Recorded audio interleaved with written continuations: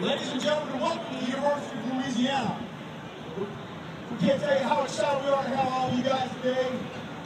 We're going to work on the volume right now. Matt's going to turn that up a little bit for me, aren't you, Matt? Wonderful.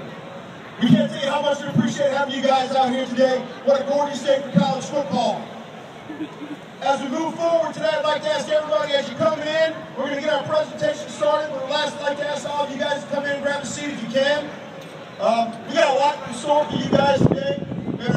Day, uh, full of uh, a lot of excitement on the field and a lot of excitement that's going to happen uh, off the field as well. So you guys can hang on for a second. We'll go ahead and get, get you guys uh, involved as much as we can during the course of the day. My name is Troy Window, the Director of Operations. I've been here for a long time at the University of Louisiana. And I'd love to take this opportunity as often as I can to introduce uh, my boss. And yes, I am sucking up a little bit because he is my boss, but I will be honest with you.